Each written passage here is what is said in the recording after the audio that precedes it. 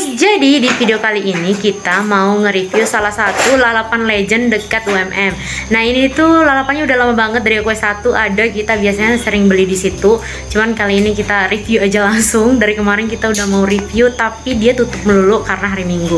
Nah so sebelum kalian melanjutkan menonton jangan lupa menekan tombol subscribe, like, juga komen di video ini untuk aku nge-review apa lagi di video selanjutnya. Yuk langsung aja.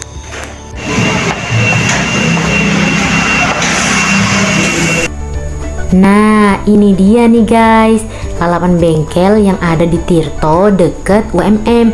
Nah, buat anak UMM pasti udah nggak asing lagi. Jadi mereka ini salah satu lalapan legend yang dari dulu emang udah ada banget di sini.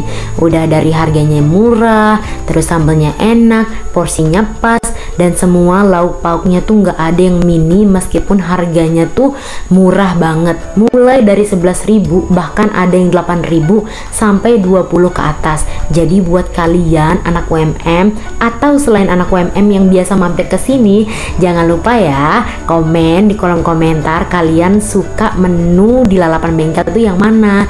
Gitu ya guys. Dan ini pas kita lagi nge-record kayak bapaknya tuh perhatiin dan bapaknya tuh baik banget humble banget kayak welcome gitu loh guys udah aku review lalapan bengkelnya. Ini aku closingnya udah di kamar aku udah nyampe di kos karena tadi tuh lumayan bang lumayan banyak banget ternyata orang yang beli. Jadi aku kayak malu gitu jadi mentalnya harus lebih tinggi lagi gitu kayak pede tuh harus hmm gitu. Tapi sayangnya kita masih hmm, malu-malu gitu. Jadi kita pakai voice over aja untuk reviewnya ya.